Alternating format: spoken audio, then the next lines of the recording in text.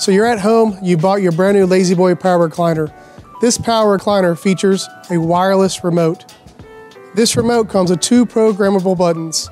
In this video, we're gonna show how easy it is for you to save your presets on your favorite seating positions.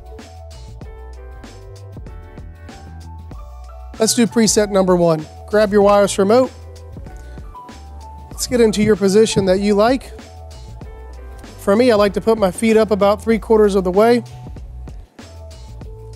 Lean back just a little bit.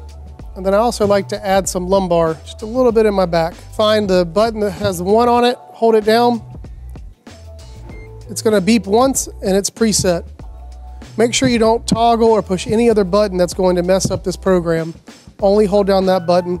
It's set, we push home and it returns. Let's just make sure it works. Now you're in the rested position, pushing the one button, and it goes to your preset comfortable setting.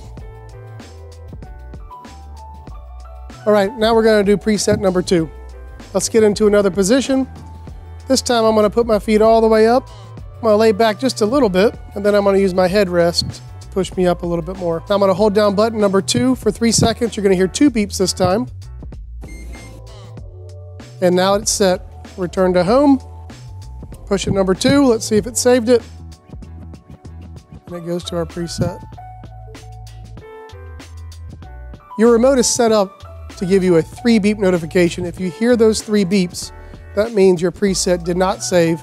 Just start the process over, do it again, listen to that one beep for number one, two beep for number two, and your preset is saved. And just like that, you're sitting comfortable in a chair set to your specifications.